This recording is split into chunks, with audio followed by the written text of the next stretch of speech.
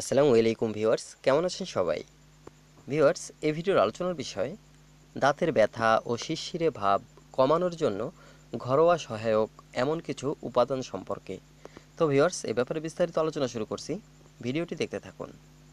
Viewers, আমরা প্রথমেই আলোচনা করব যে দাঁত শিরশির করা যে সমস্যাটি রয়েছে, এটি ঘরোয়াভাবে কীভাবে সমাধান করার চেষ্টা করতে পারেন।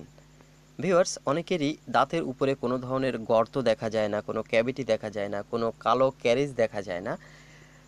কিন্তু তারপরেও সে দাঁতটি শিরশির করে। এমন অনেকেরই রয়েছে যে দাঁতের উপরে গর্ত নাই, কোনো সমস্যা দেখা যায় না, কিন্তু দাঁতটি শিরশির করে।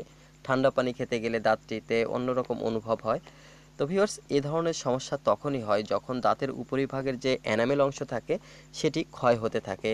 অথবা দাঁতের গোড়া থেকে যদি মাংস সরে যায় আর সেটি গাম রিসেশন হয়ে থাকে, তাহলেও দাঁত শিরশির করতে পারে। তো মূলত দাঁতের উপরিভাগে যে এনামেল অংশটি থাকে, এটি কোনো কারণে যদি দাঁতের ক্ষয় হতে থাকে, তাহলে যত বেশি ক্ষয় হতে থাকে, ততই এই শিরশির করা ভাবটি বাড়তে থাকে।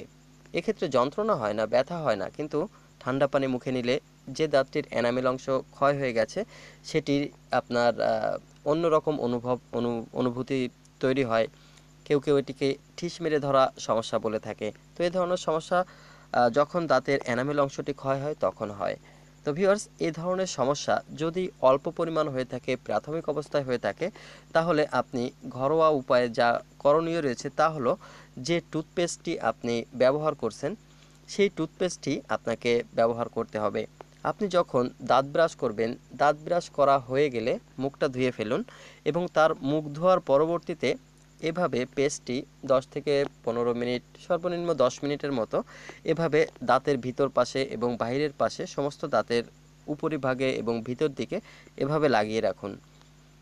কোন টুথপেস্ট? আপনি যেটা ব্যবহার করছেন সেটি করে দেখুন। কোনো নির্দিষ্ট কোনো টুথপেস্টের কথা আমি বলব না। যে টুথপেস্টটি আপনি ব্যবহার করছেন সেটি দ্বারাই আপনি ট্রাই করুন। তো এভাবে আপনি টুথপেস্ট, দাঁতের এপিট ওপিট দুপাশেই কিন্তু লাগিয়ে রাখতে হবে। এভাবে লাগিয়ে রেখে 10 মিনিটের মতো লাগিয়ে রেখে অল্প করে কুলি করে আপনি এভাবে শুয়ে পড়তে পারেন। হয়তো একটু আনইজি লাগতে পারে, কিন্তু এটি আপনাকে, আপনি করে দেখতে পারেন আপনার শিরশির সমস্যাটা বন্ধ হবে। তো ভিউয়ার্স, যখন আপনি এভাবে যখন এভাবে কুলি করে আপনি যখন শুয়ে পড়বেন, এভাবেই ঘুমিয়ে যান, সকালবেলায় উঠে আবারও মুখটি ফ্রেশ করে নিন। এভাবে যখন দুই তিন দিন করতে থাকবেন, তখন দেখবেন যে আপনার সেই শিরশির করার সমস্যাটি কিছুটা হলেও কমে গেছে। যদি সামান্য হয়, তাহলে পুরোপুরিভাবে বন্ধও হয়ে যেতে পারে। ভিউয়ার্স, এছাড়া যদি কখনো কোনো দাঁতে ব্যথা হয়, কোনো দাঁতে ব্যথা হয়, অনেক রাত দাঁতে যন্ত্রণা হচ্ছে, ব্যথা হচ্ছে, আশেপাশে ডাক্তার নাই তো এক্ষেত্রেও আপনার কিছু ঘরোয়া সহায়ক রয়েছে যেগুলো দাঁতের ব্যথা কমানোর জন্য উপযোগী। তার মধ্যে টুথপেস্ট অন্যতম। এমন যদি ক্যাভিটি হয়ে থাকে, ক্যাভিটির জন্য গর্ত হয়ে থাকে, দাঁতের উপরে অনেক বড় গর্ত হয়ে গেছে, পালপাইটিস হয়ে গেছে, তো এমন গর্তের ভিতরে কিছুটা টুথপেস্ট দিয়ে রাখতে পারেন। দিয়ে রেখে দেখতে পারেন যে ব্যথাটা কমে কি না টুথপেস্টে এমন কিছু উপাদান ব্যবহার করা হয় যা দাঁতের ব্যথা কমানোর জন্য সহায়ক। তো এমন ক্যাভিটি যদি থাকে আর তাতে যদি ব্যথা হয় বা যন্ত্রণা হতে থাকে, আপনি টুথপেস্ট সেখানে লাগিয়ে রাখতে পারেন। তাহলে সাময়িকের জন্য আপনার ব্যথাটা হয়তো কমতে পারে। এছাড়া যদি বাসায় লবঙ্গ থাকে, এটি অনেক আমাদের সকলেরই পরিচিত, লবঙ্গ বা লং যে যেমনটি বলে থাকেন, তো এটি আমাদের বাসায় অনেকেরই, সবারই থাকে। তো ভিউয়ার্স এই লং দ্বারাও কিন্তু বা লবঙ্গ দ্বারাও আপনি দাঁতের ব্যথা কমাতে পারেন। যদি এরকম ক্যাভিটির কারণে দাঁতে ব্যথা হতে থাকে বা হঠাৎ দাঁতে ব্যথা হয়, তাহলে এমন কিছু কয়েকটা লবঙ্গ নিয়ে আপনি লবঙ্গটি থেতলে, ভালো করে থেতলে নেবেন। কোনো কিছু দিয়ে ভালো করে থেতলে নেবেন। থেতলে সেই যে ক্যাভিটি হয়েছে, সেই ক্যাভিটির মধ্যে সেটি কিছুক্ষণ রেখে দিতে পারেন।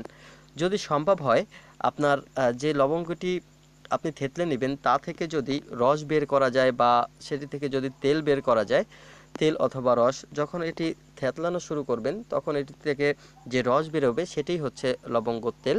তো এই লবঙ্গের তেল যদি আপনি সেই দাঁতের যে ক্যাভিটি থাকে, সেই ক্যাভিটির মধ্যে দিয়ে রাখতে পারেন, অতি দ্রুত আপনার সে দাঁতের ব্যথা কমে যাবে।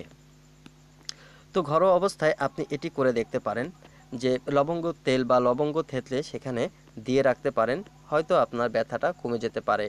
এ ধরনের আমি যেগুলো বল আসছি বা বলতেছি, এটি যে সব ক্ষেত্রে কাজ করবে, ব্যাপারটি এমন নয়। যদি সমস্যাটা এর মধ্যে সীমাবদ্ধ থাকে, তাহলে অবশ্যই আপনার ব্যথা কমবে, শিরশির ভাব কমবে। যদি সমস্যা অতিরিক্ত হয়, অনেক বেশি জ্বালা যন্ত্রণা করে, ব্যথা করে, তাহলে হয়তো কিছুটা কমবে, কিন্তু পুরোপুরি সেরে উঠবে না।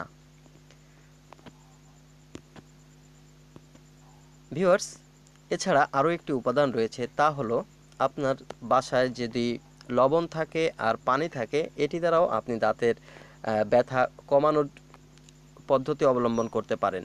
এক্ষেত্রে আপনাকে এক গ্লাস কুসুম গরম পানি নিতে হবে, যে হালকা গরম। হালকা গরম পানির মধ্যে আপনি টেবিল চামচ লবণ দ্বারা এটি মিশ্রিত করে আপনি কুলকুচি করতে থাকুন। যখন দাঁতের ক্যাভিটি হোক বা মাড়ির সমস্যার কারণে যদি দাঁতে ব্যথা হতে থাকে বা মাড়িতে ব্যথা হতে থাকে, এছাড়া মাড়ি ফোলা সমস্যা হতে থাকে, তাহলেও আপনি এই এটি চালিয়ে যেতে পারেন। গরম পানি, হালকা কুসুম গরম পানি করে তার সঙ্গে এক চামচ লবণ মিশ্রিত করে আপনি কুলকুচি করতে পারেন। তাহলে আপনার দাঁতের ব্যথাও কমবে এবং মাড়িতে যদি কোনো ইনফেকশন হয়, মুখের মধ্যে যদি কোনো ব্যাকটেরিয়া থাকে, তাও কিন্তু আর বৃদ্ধি হতে পারবে না।